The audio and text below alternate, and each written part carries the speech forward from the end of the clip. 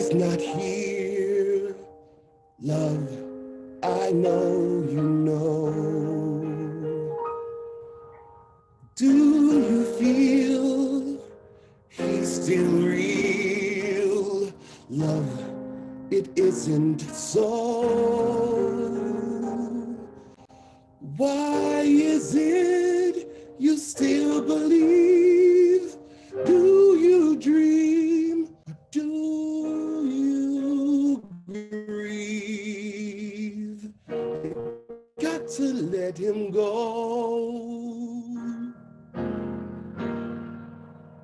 He's been dead all these years.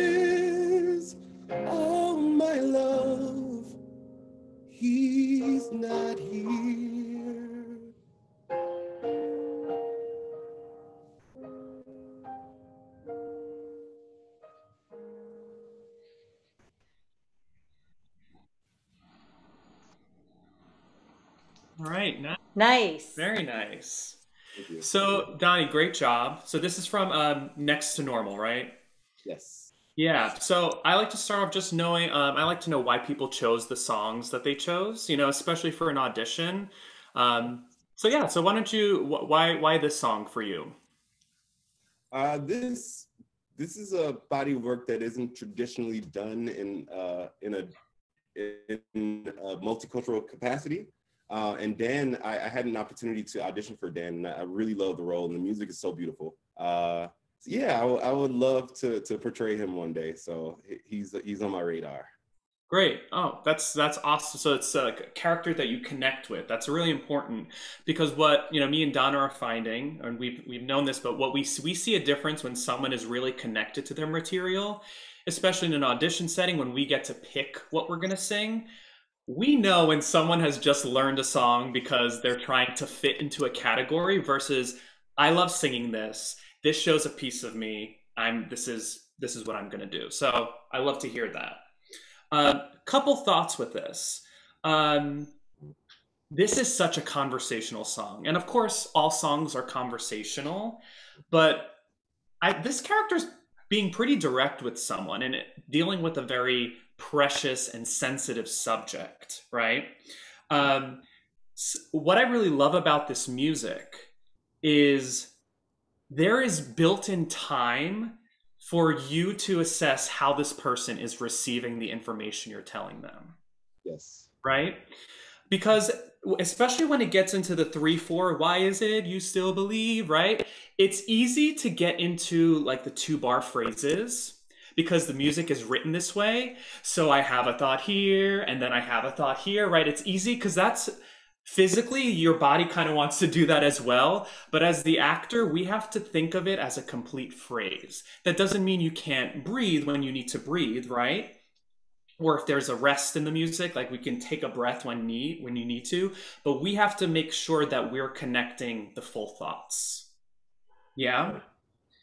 Um, Yeah. and then what I will say with that is we talk about uh, something. Is there breathe? Is there something you say about breathing in here? No, grieve. Just kidding. I but and I I feel like Donna will get into this, but I I want to see you make more of a conscious intention about your breathing here. Yeah. That everything that we're doing is a conscious thought, right? Um, so for you, I think it's a matter of breaking up this song, which is a lovely like little audition piece, right? To me, I feel like this is one of those uh, songs you have in your back pocket when they say, "Hey, do you have something else that's just different that kind of just shows you?" And it's very simple. It can really show off your acting, and also there's like a, a bit of a legato line, and also shows like the mixy side of things. Which, by the way, I've never really heard you do this kind of vocal stuff. So, and that's really you can you can do that stuff.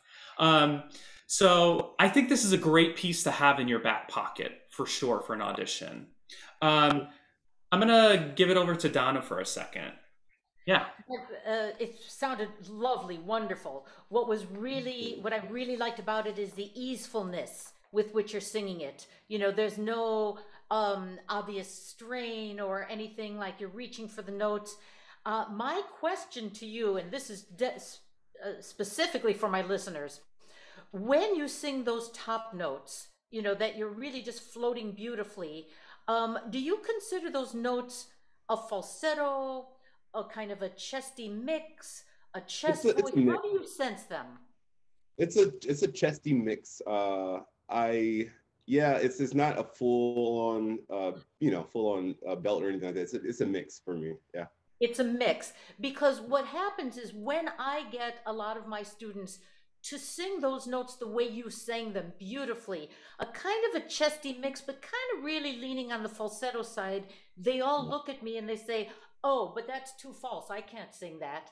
And you're allowing yourself to sing that, which I think is wonderful because all of my guys say, Oh my God, I'm using a falsetto. I can't do that. Yeah, you can and especially i'll tell you what i love especially when you did the first uh, g on the do you dream and then you do the second one all these years the second time it's a little bit fuller the second time so the first one's got a little bit more of the falsetto the second one's a little bit fuller so you're able to do those those little blending things that i'm not even going to fuss with because you're doing them beautifully now the way you're doing them beautifully and naturally is going along with exactly the emotional intention that you have for this piece. So, Do You Dream is a different sound quality, register balance than the um, uh, He's Been Dead All These Years. Well, that's not the same sound. You're, you're expressing something differently, and you're just doing that part beautifully. Now, I'll talk about what Peter was mentioning about the breathing. Now, Yes. one thing about the breathing is the breath has to have the emotional component of what it is you're doing for the song, right? What what how would your character breathe, you know, right from the beginning, he's not here, he's not here, love, I know you know. And you know, most of the breaths for for this are not big, long, eh, you know, expansive breaths. They're kind of small, easeful breaths. You know, it's not a, and it's not a, it's not that. It, it's kind of a, you know, not even worrying about uh, the the technical aspect of, oh, how am I breathing? Not that. Just the, what is the emotion? How would you breathe before those two phrases I said before? Do you uh, do you dream or do you grieve?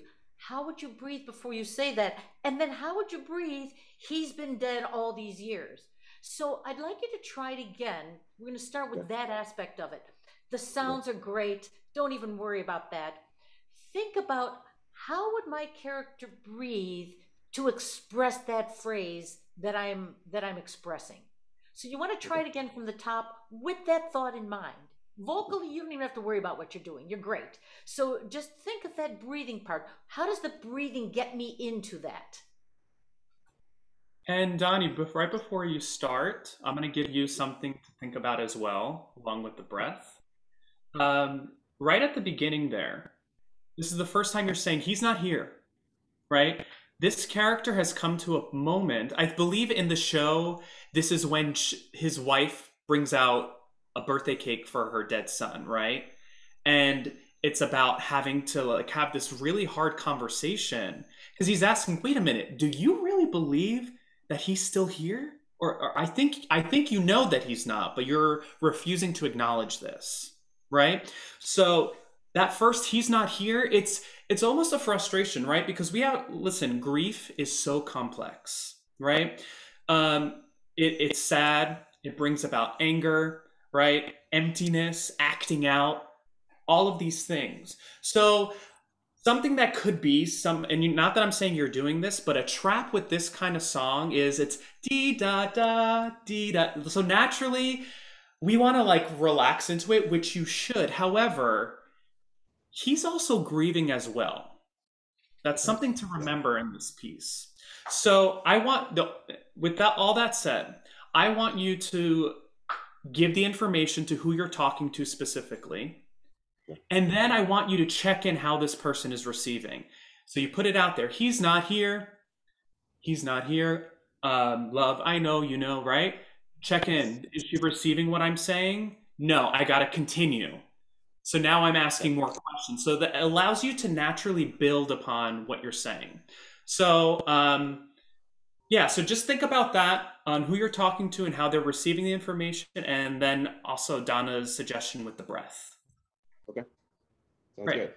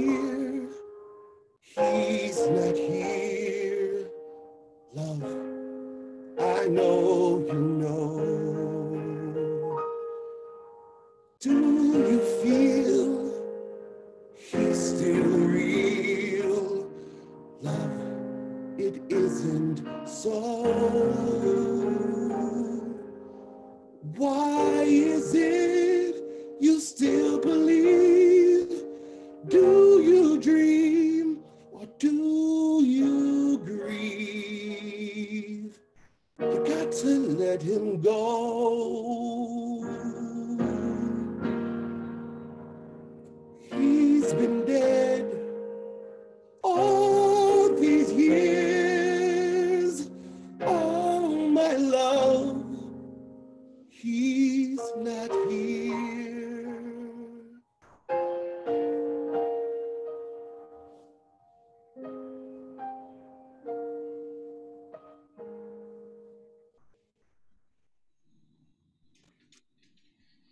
Yeah. I think the the whole breathing thing certainly worked better. How did you feel about that? I feel the same way. I, I felt a lot more relaxed and and allowed the breathing to, you know, kind of be a choice and and to help express what those words are. Yeah, that's exactly what I heard. That's exactly what I heard. Between each one, it was just organic. It was very, very good. Yeah, and it's interesting you said I you felt more relaxed into doing it because with that relaxation that you felt, I also got that this was more active, right? Eh, That you were really engaging this person. So this is an interesting thing where as performers, of course, we want to feel as relaxed as possible so we can, you know, actually sing. Um, but it's a matter of allowing the breath to naturally do what it does. Um, and also being intentional about it. It's like a weird, um, right? It's like that weird fine line of being relaxed but active. Could I Um, just interject for a second about the word relaxed? Because um, I don't like the word because most people equate relaxed with collapse. And what Peter is saying, you didn't collapse at all, but you were quote unquote relaxed. So you had the right energy that you needed, but you didn't have the excess tension that was unneeded. So uh, I like the word of being just appropriately engaged. Sorry, I didn't mean to cut you off, but I, I really like the quibble about that word because people think relax and then they just kind of do this. and okay. you know you can't collapse and you didn't certainly didn't do that yeah yeah absolutely um, and one thing I also, this is just kind of like a technical thing, especially for auditions in general, right? When you go in and you're either cueing your accompanist to, to begin, you say, Yeah, I'll nod you in. Or in a virtual setting, you're literally reaching over and pressing play. Dony, I'm just going to bring this up because you, it, a lot of actors tend to like want to hide, like, oh, I don't want you to know that I'm pressing play. Pretend like I'm not. You're, you're very much in your space there you introduce yourself to whoever you're talking to in a virtual setting and you press play and there was a natural transition that you're taking in that moment right? Especially auditions in a room when you do, I, I i i really like when actors include the accompanist right? Whether you're going to tell them i'm going to nod you in you hear the first bar or so and it kind of then you transition to exactly who you're talking to right? There's no preparation that we're seeing of looking down and breathing and no you're you're taking in the room taking in the space and you did that naturally. So i just wanted to bring that to your attention. That's real because for us watching we just go okay he's it's it's we don't we don't get nervous for you. So i just wanted to bring that to your attention. That's a really just a really nice start to your audition here. Something i want to play with so i mentioned earlier that you know grief is um, very complex and people within even one conversation about grief it can ebb and flow into different things. So something i want to try now is i want you to make those conscious decisions because like i said this character is also grieving but he also um, you can you can maybe tell me more about this character um, but it, he has like the weight of also taking care of his wife who's really struggling more than he is but he also is grieving. So it's this like layered, it's been happening, right? Because in the song it says he's been dead all these years. So it's been, it's been a, eh, this has been a long time, right? So I want to go again and I want you, before we start, you take like a couple seconds to make a decision on at the beginning is it that he's gotten to a point that he's angry and he needs her to move on like you you you are doing this to yourself. I need you to stop right? Whether it's you know psychologically the right way to go about things he's he's at a point too. He's not well himself yeah. right? So i want you to make a choice. Eh, have i has he reached his limit which is why he's singing this song right? She just brought out a birthday cake for their son who has passed many years ago and was this kind of kind of set him off at the beginning? And then he's catching himself to really ask the questions wait do you feel he's still real? Yeah. right? So maybe it's he's hit the limit at the beginning but then he's going to yeah. inquire more about it to try and have this honest conversation. So take just a couple seconds to think about that and so that you can track where he's going with this so I like you. I like you sitting. Yes, I'm sitting. Should I should I be standing? No, go. I like you sitting okay. because what that naturally does to, and this is something that I recommend to a lot of people that I work with, especially when you're in the beginning stages of working on a piece. When you sit, there's a natural grounding that happens, and you can really focus. Um, you know, the reality is that if you go into a room, you're not going to, there won't always be a chair. I mean, usually they do have a chair available to actors, but you know, this is something to think about that you want to be able to be standing because that immediately it's a different, different feeling, right?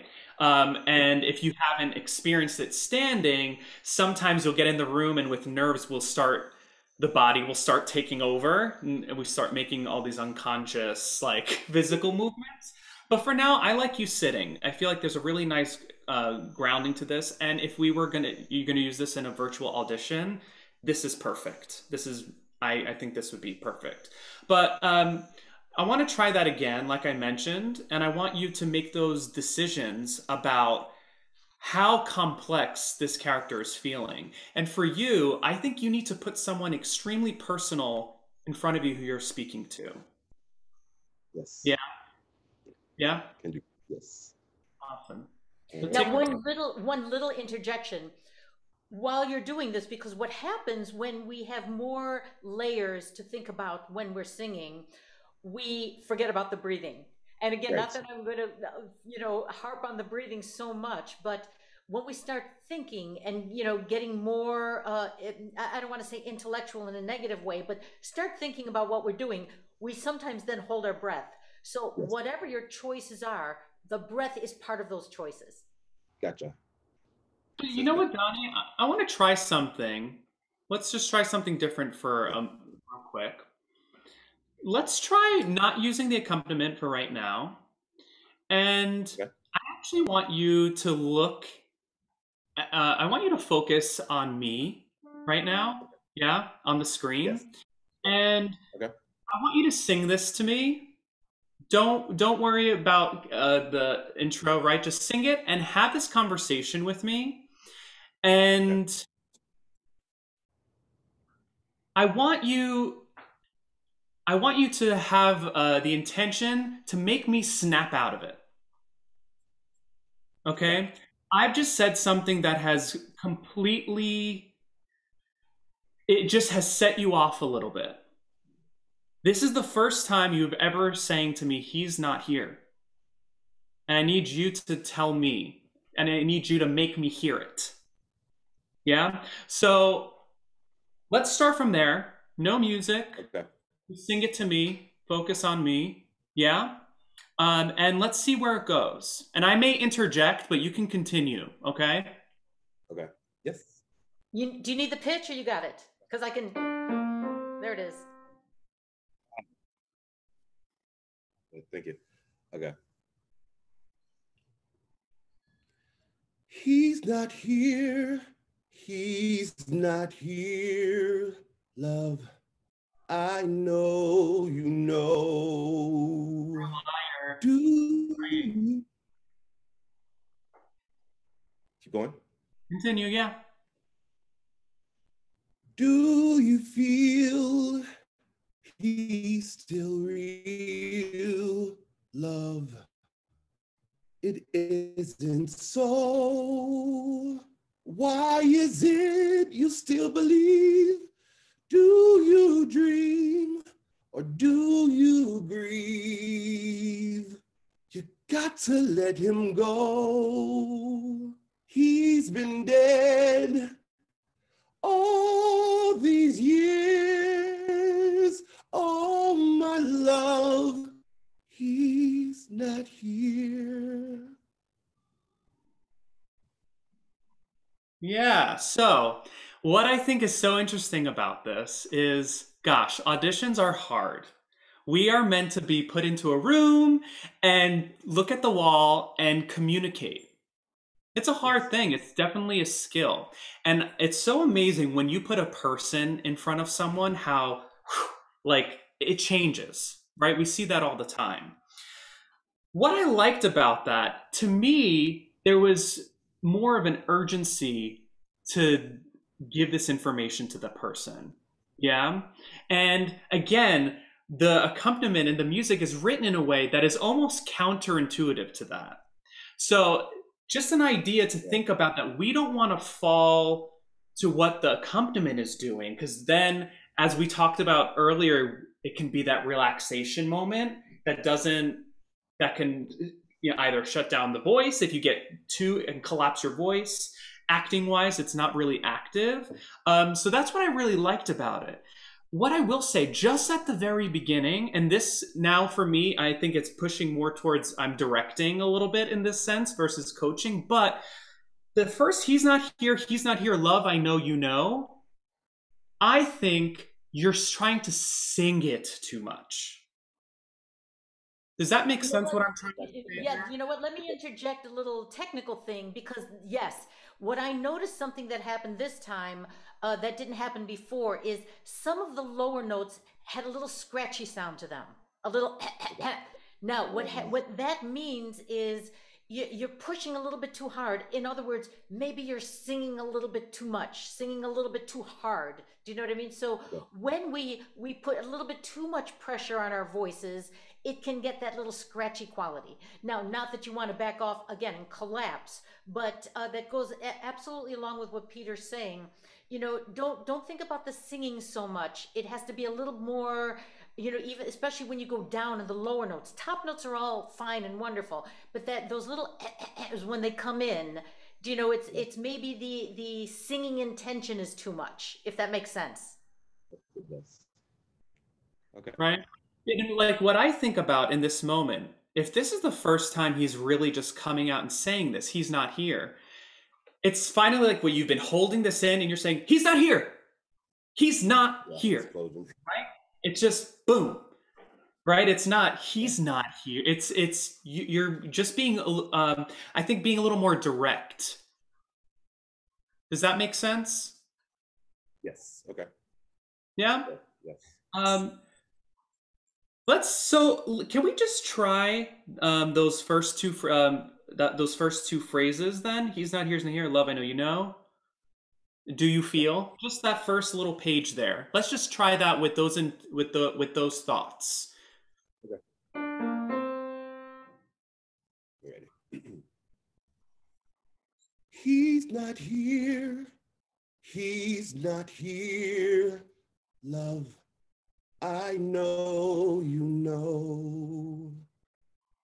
Do you feel he's still real? Love, it isn't so. Uh, it, it felt it, it felt it felt a lot, a lot it felt yeah it felt like a conversation um and yes I, yes it, it did feel like it lended a little more than it did before am i breaking up? Can everyone hear me? Okay. I think we got yeah we heard what you, your uh, your reaction to that. And it was good. And I know from personal experience too that again my direction to you be more direct. So then in our brain we go oh I got to say this but then vocally if it's too much right then we what Donna was uh, talking about just before it, it kind of fights it a little bit. So it's really about finding that happy medium um, that can work for you. And of course, it's different for anybody, for everybody. Um, but to me, that and that also gives you somewhere to go because you still have a whole nother page of music to get through. So eh, we have a whole long conversation here. So give yourself a place to go is a really um, good thought with this piece. absolutely okay Yeah. I thought that I thought that was excellent. There was it was there, it was um purposeful and there was no pushing on your voice. You know, you didn't need to. And then the second half is actually easy easier for you because you go higher, you go into the falsetto, whatever. Actually, in some cases with some singers, the lower part's a little bit more difficult because the lower part is so easy, quote unquote. Although the high obviously is easy for you, but still, because the lower part is low, we can tend to really, you know, try to do that with it. And uh, just that little backing off did not get rid of the frustration. When you backed off, we didn't feel that you're less frustrated, you're less whatever. We felt that, we heard that, but you don't put that in your voice. You know, it came out anyway. That was great. Yeah. thank you thank you Um, can we try the whole thing once more? Yeah. And now, Dony, I'm going to throw a curveball at you. I'm going to ask you to stand. Okay. I think that doesn't mess you up too much with your setup there, but uh, yes. it does. well i can try it but i probably should adjust it because I- i'm gonna yeah give me two seconds Yeah, to that's adjust fine. it I just like throwing curveballs, especially right at the end, because why not? Yeah, sure, why not? you see me? Okay. Great. Yeah. Now, now all I'm gonna say is, it will feel different because now you're standing, but our approach, vocally and um, intentionally, is the same. We approach it the same way. Just know that it will feel different, and that's okay because we're now you're in a different dimension, basically. Does that makes sense? It does. Um, so would you like it with music or without? Let's do it with music.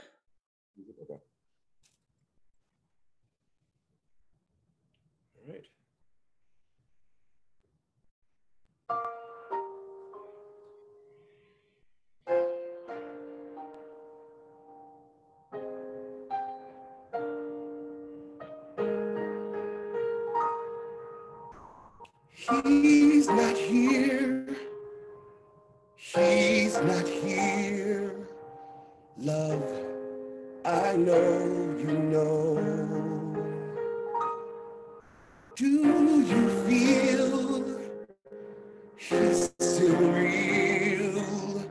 Love, it isn't so. Why is it you still believe? Do you dream or do you grieve? You got to let him go.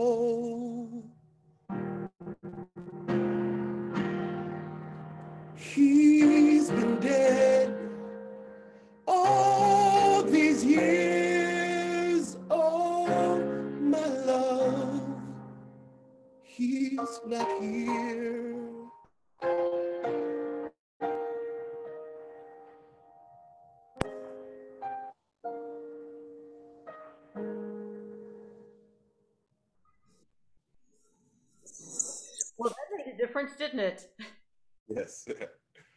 Yeah, it and again, it was different, but I didn't feel like you were completely adjusting what you, we had just worked on, right? It all kind of informed us to this moment. I just want to bring a moment to your attention that worked it was your last oh my no my love. That last no, you naturally did a no my love. There was a it was a very natural thing that you did there and it just I when you said I literally was like oh wow I, i'm with you. I'm with you. I'm right there. Um, so i just wanted to bring that to your attention because that's something that came out of this after we have you had you stand and do this. Um, but really good job. And i yeah i loved that. I loved that. It seemed even more. How did you feel um, comparing the two, sitting and standing? Um, well, standing, I felt I, actually it sounds weird, but I feel a lot more grounded standing than I did sitting. Um, and I was able to sort of really connect with the because I don't think this is a conversation the person would have sitting anyway. Uh, so it could have been some pacing or something before before I got into the conversation. So it feels like I'm I'm I'm directly, you know, addressing the situation, and it feels a lot more grounded for me. It seemed to me, uh, just you know, watching and hearing, that you seemed slightly more comfortable standing up. Yes. Yeah, I do. Yeah. Great. Any other final thoughts, Peter? Peter? well my dog loved that version he's very excited um, with you standing so I, I think we all like the standing. I think that works for you. But I think what's really great is that we started seating and it allowed us to build on it. And I'm glad now you know that you've tried different things. Oh, I, I felt more in charge of this when I was standing. So now we know that that works for you, right? A lot of this, you know, especially when we're working on songs, specifically for auditions, we have to test it out. We have to test out the different things, whether it's the vocal choice, the intention behind the acting choice. I think, you know, and we have technology now to we can watch back what we've done. So we can make those decisions because we tried a couple different things. And ultimately, when you go into that audition, you get to decide what you bring in, what choice you're going to make. But, you know, we present the options. Love it. Wonderful. Thank you so, so much for doing this. Peter, thank you. Dony, thank you so much. It was lovely, lovely working with you and, and hearing your beautiful voice. And uh, great. Wonderful. Thank you so much. Thanks for having me. I really appreciate uh, the coaching, and uh, this has been a fun opportunity. I hope that we get to do some more sessions in the future. So thank you so much. Me too. Yeah. Thanks for watching Donna Reid Talks Voice. If you have any questions for me about this episode, or if you'd like to join me on a future episode, please visit donnareidtv.com and click Contact.